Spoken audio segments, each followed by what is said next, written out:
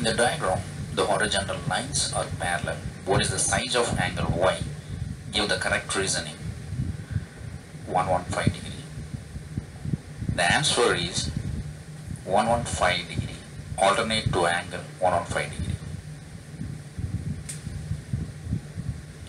See what letter you can trace out. Start on one of the horizontal lines and cross over to the other, including known angles as you go.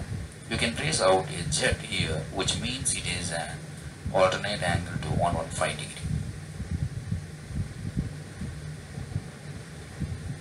Question number two. What is the size of angle x? Give me a reason.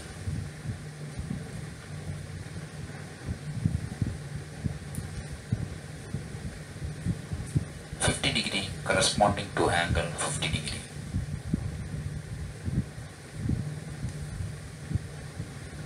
See what letter you can trace out start on one of the parallel lines and cross over to the other, including known angles as you go. You can trace out an F with an X and the 50 degree. So this means X is a corresponding angle with 50 degree. Question number three. What is the size of angle Y? Give a reason.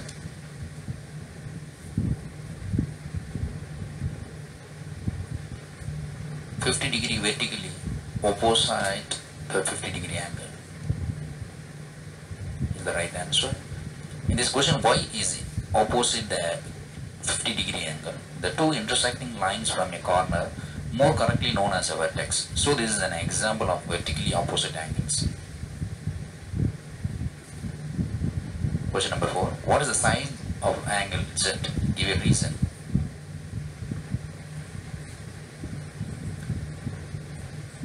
Ninety-five degree supplementary to the other angle on the straight line is the right answer.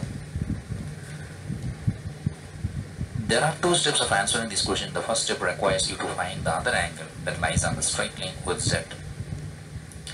This is the third angle in triangle with the other two angles being 45 degree and 50 degree. This means this angle must be 85 degree. The 85 degree angle and Z lie on a straight line so they must add up to 180 degree.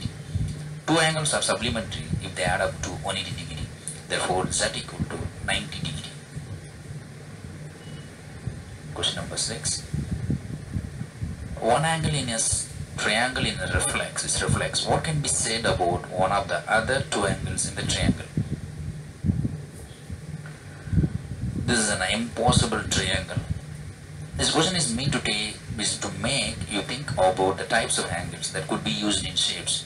As the sum of the angles in a triangle add up to 180 degree, it isn't impos- it isn't possible for one of the angles to be greater than 180 degree. Try and draw it out. Question number 6.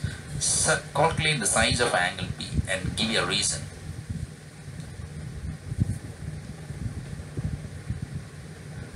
One hundred five degree point to your to the seventy five degree angle. Start on the parallel line by P and trace a route to the other parallel line and include a known angle. You can trace out a C which means they are co-interior and they add up to 180 degree. Question number 7. Calculate the size of angle Q and give a reason.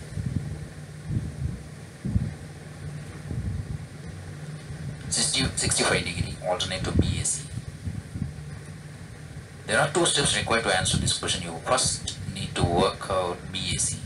This lies on a straight line with 105 degree and so is a supplementary angle of 65 degree.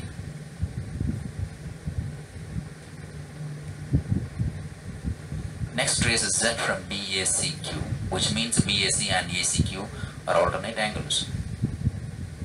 Question number 8. Angle R is 40 degree, which statement is not a valid reason.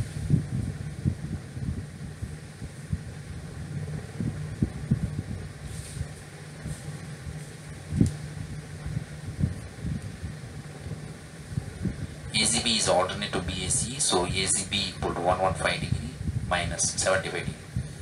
This question is intended to show that there are often a number of ways of reaching the correct answer and that you need to know the definition of the different angle facts. BAC is alternate to ACQ and the angle supplementary to ACB. What is the size of angle X?